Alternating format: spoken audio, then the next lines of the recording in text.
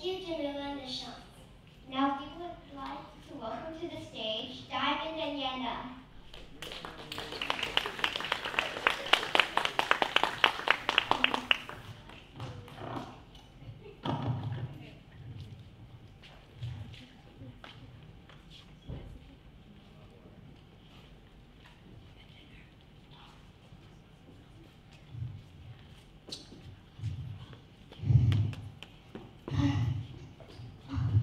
Are you okay? What happened to you?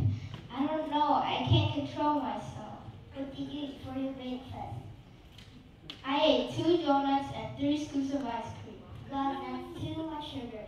Did you know that sugar can lead to many health problems? Oh, really? Raise your hand if you have ever eaten too much sugar that you felt hyper or sick like me.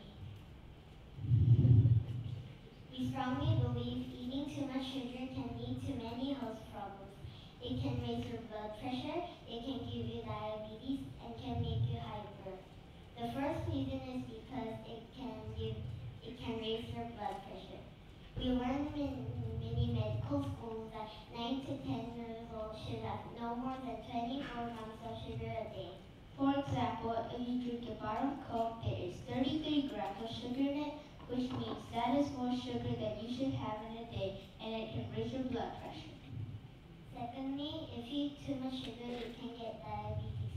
We learned that if you eat too much sugar, you can get diabetes. Diabetes is a disease that affects how your body uses glucose. What is glucose? Glucose is the body's main source of fuel. The pancreas, which is an organ in your body, and it produces a hormone called insulin. Insulin is important because it helps the glucose get to the body's cells. If someone has diabetes, the body either can't make insulin or the insulin doesn't work like it blood sugar level gets too high.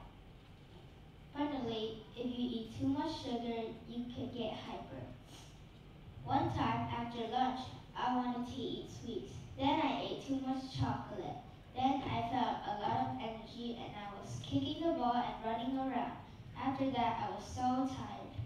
In fact, natural sugar doesn't give you that big sugar rush like processed sugar gives you. Natural sugar like fructose have vitamins and minerals which your body needs. Fructose is the natural sugar from fruits. You should know that processed sugar is bleached and doesn't have any vitamins or minerals. Now that you know why it's important not to eat too much processed sugar, you can try to eat less processed sugar. Try eating natural sugar instead of processed sugar. Try to remember that processed sugar can lead to many health problems. When you eat food with less processed sugar, you will see that your body is getting healthier and more fit. Next time, if you have a choice between Coke and fruit juice, what will you choose?